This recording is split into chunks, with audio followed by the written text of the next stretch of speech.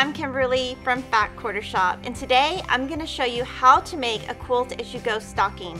It will make great Christmas gifts and you can make one stocking in just under an hour. So what you need to make this is a quilt as you go stocking pack. This includes the batting for you to sew on and it will make one stocking. You will need a jelly roll, some scissors, a basting spray or pins, this quick press seam roller will help you. We're stitching with Christmas Figs II today for ours. And we did use some Kimberbell trim for the hanger and you just need some basic sewing thread. So let's get started.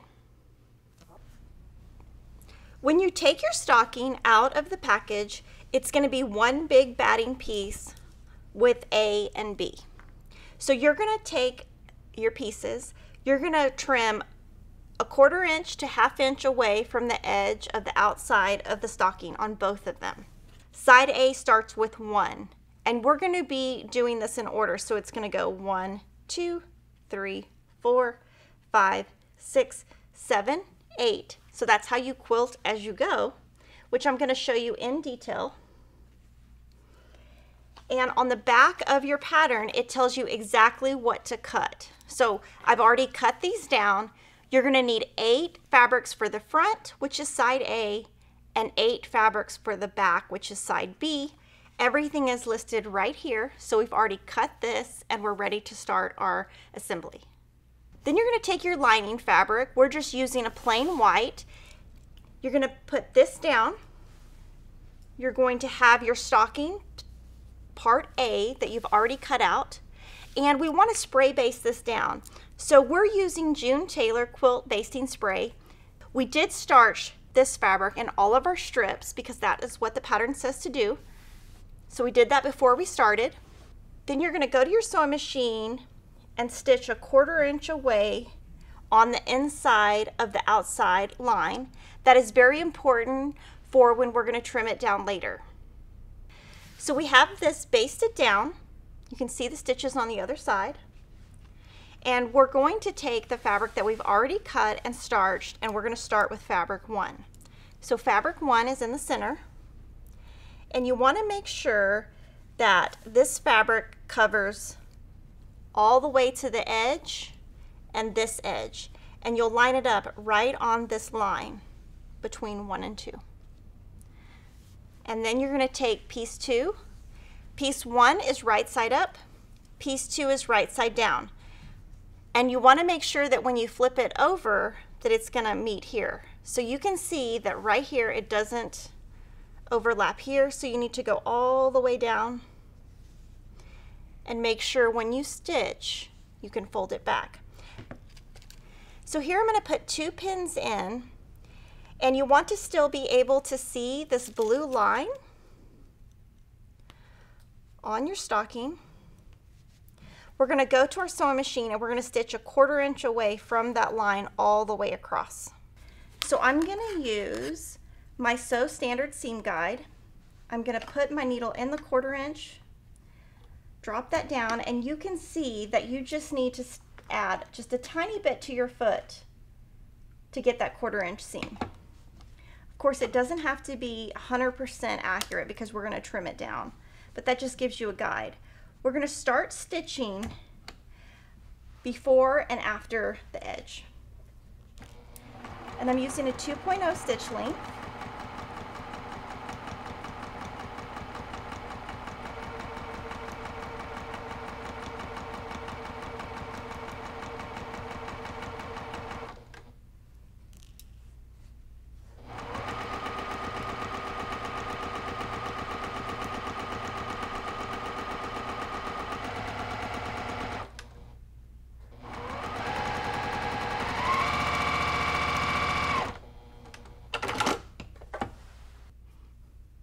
So once you have that seam, you want to flip your fabrics and you don't want to iron this down because you don't want your batting to get distorted. So I'm going to use the Quick Press Seam Roller by Lori Holt.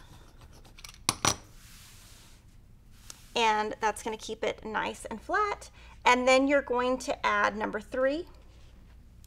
Again, doing the same thing. Making sure when you flip this over that it covers. And you can see down here it does not cover. So you want to make sure that when you have it aligned, it's going to flip all the way over. So that looks about good.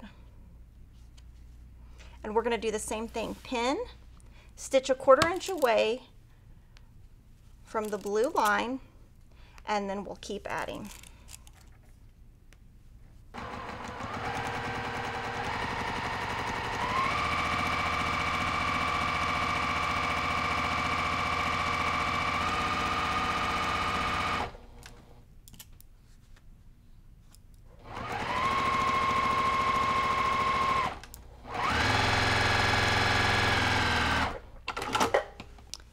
So again, press. Just get it nice and flat. And you can see that right here, kind of it's not all the way to the quarter inch, and right here, it's not all the way to the quarter inch. And that's okay, we're just gonna adjust our quarter inch seam to be a little bit skinnier. And now you can keep adding to the top and the bottom at the same time. So I'm gonna add four, right sides together, and again, I'm going to make sure it covers and I'm going to pin that right on the line and I'll just do a smaller quarter inch seam. So here you can do four at the same time and you can do five at the same time. So I'll just pin both. Again, just making sure that it's going to cover. And I just line it up on the line and we're just going to stitch and we're going to do this entire step until everything is covered through eight.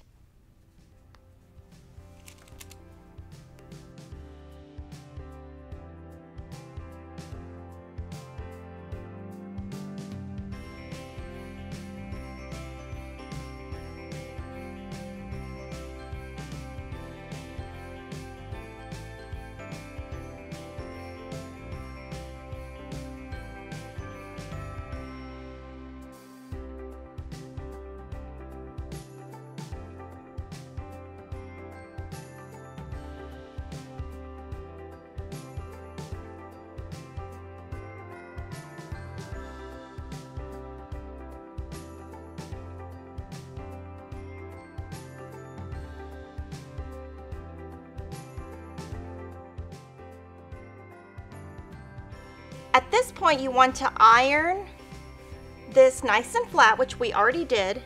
Turn it over and you saw your basting stitch that you made in the very beginning. We're going to trim a quarter inch away from that basting line. Using long, big scissors is very helpful for this. It will go much faster and smoother. This doesn't have to be exact,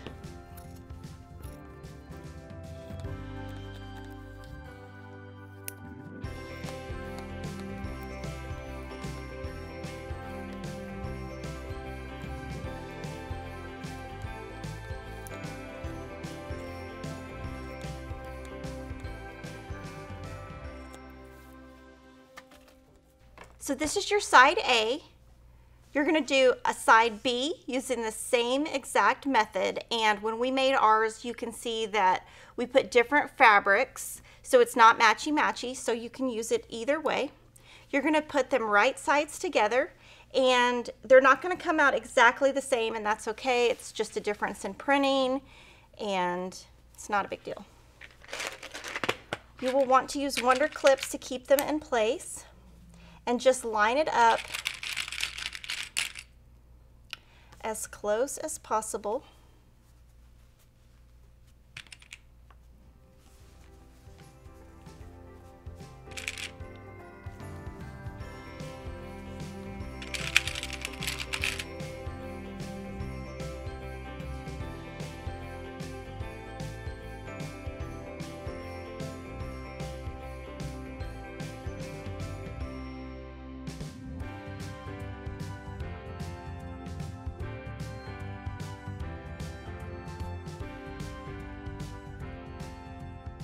So I've got everything clipped together.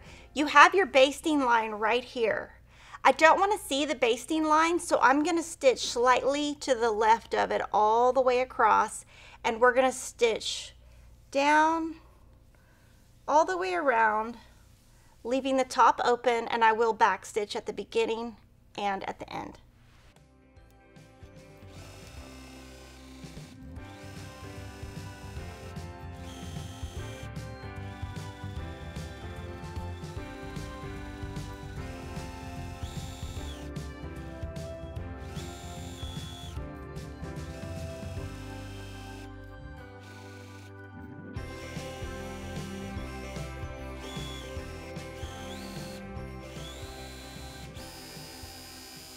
When you're finished, you can leave this as raw edge or you can serge it.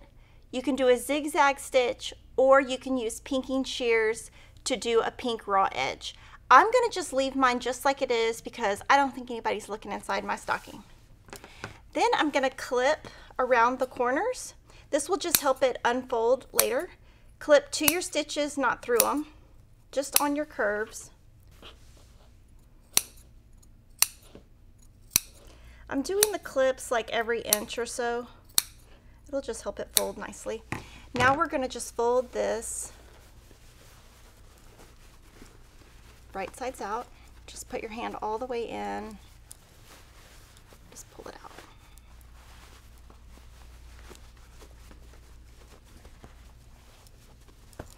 And the beauty of this stocking is they don't have the lines for the jelly rolls to line up. So there's no seams to worry about and that's how it comes out so pretty.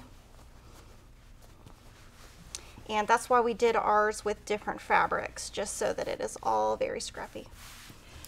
And we're gonna give it a nice press and then we're gonna add the top. Now all we have left is the top. I'm gonna take some pre-made ribbon by Kimberbell. I'm gonna cut it six inches, put the raw edges together, and on the back seam, I'm gonna kind of press this open, put my ribbon right there, pin it in place. We're just gonna top stitch that down a couple of times on our sewing machine.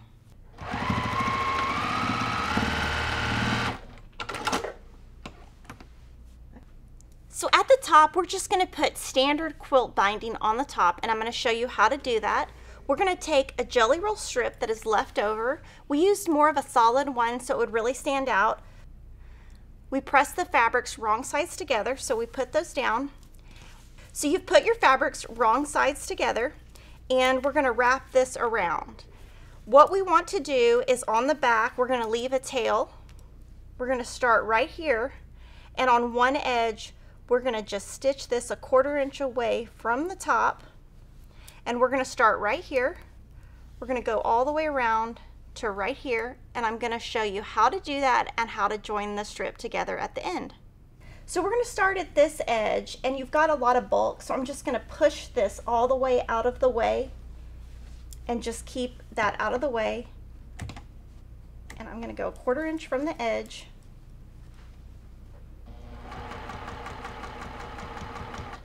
just do a little bit and just keep adding and just keep moving the back out of the way. So it just takes a little bit of finagling.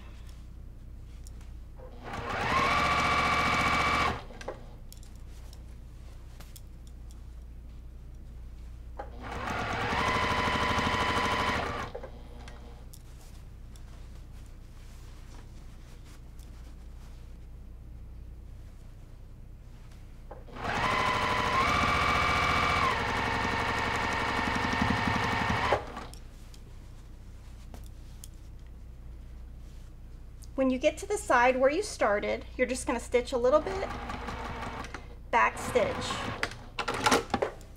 and we're gonna have this opening right here that we're gonna close. Now we need to join these together. The first step is, on the right side, I'm just gonna find a center, like kind of around the center of this, right here. This is about the center. I'm gonna just trim this off. You can trim with scissors or a rotary cutter and then I'm gonna lay this down. I'm gonna overlap the second part on top. We started with a two and a half inch strip. So your math is whatever strip size you started with, so two and a half inches. So you're gonna mark two and a half inches past and I'm gonna put a line. And what we want to do is we want to cut at that line, but we want to cut a little bit past that line so it's not so wide. So I just take my ruler, put it on the two and a half, and I go up about a quarter inch. So I'm really cutting about two and a quarter inches. And now you're gonna put them together like this. You're gonna twist your left wrist clockwise.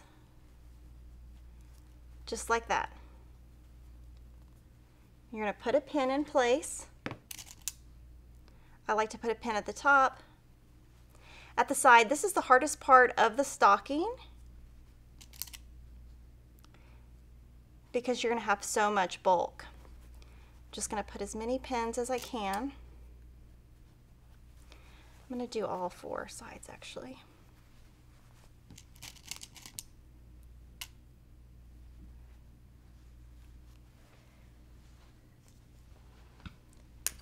You're going to draw a line from the very top corner. Just want to be able to see where it is. And the bottom corner. And use your ruler. Draw a little line. This Frixion pen, the ink will disappear with the heat of the iron later. But we're generally going to stitch on that line. On this, I lowered my stitch length to 1.5.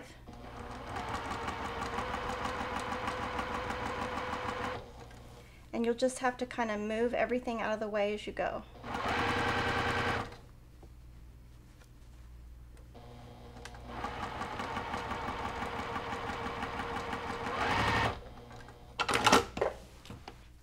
Now before you cut this, just make sure that this lies flat. Sometimes I do it the wrong direction.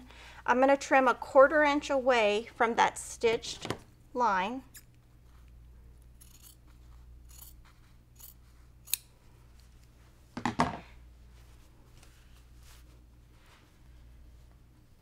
Now you can press this seam open if you would like, or you can press it to one side. I will try to press it open. Probably have to do one side here and the other side here. That will just make it lie nice and flat, but you can press to one side if you would like. So that is open. I'm going to just press this down.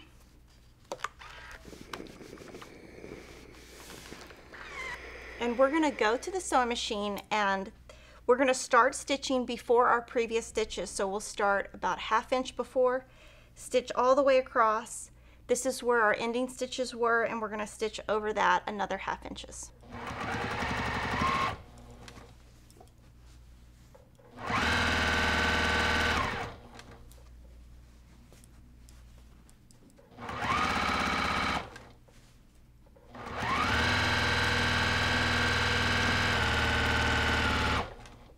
So here's your binding. You're just going to fold this over towards the top I'm going to give it like a little press right here. You don't have to, but I am. Makes it a little bit easier on the next step. I'm going to use Wonder Clips and fold this to the inside. Now you can hand bind this on the back using hand stitching or you can machine stitch it down. If you machine stitch it down, you want to make sure that it's not right here where your stitches are, it goes past because then your stitches on the front will cover the back. So that's what we're gonna do today is machine stitch. You can either use red thread to match or you can use white thread. We're just gonna use color 2000, which is kind of a cream color. So I like to use these Wonder Clips. They are wonderful. And and we're going to machine stitch this down. I'm also going to start on the back and I'll start around the joining where we joined. I'm just going to put my foot right on the left of this so this foot will touch the edge of my fabric and I'm just going to start stitching. I'll back stitch once or twice. I'm going to put my stitch length at a 2.0 and I'm just going to stitch around nice and slow. Just right on the edge.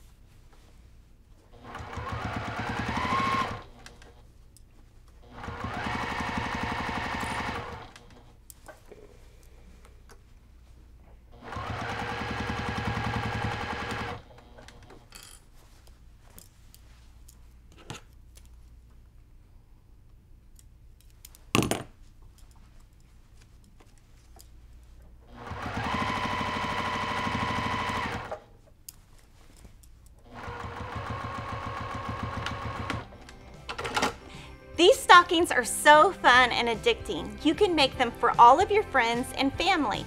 From one jelly roll, you can make four stockings and each Quilt As You Go pack will make one. There are so many jelly rolls to choose from that you can find one that will fit your friends and family. Make sure to subscribe to the Fat Quarter Shop YouTube channel and I'll see you next time.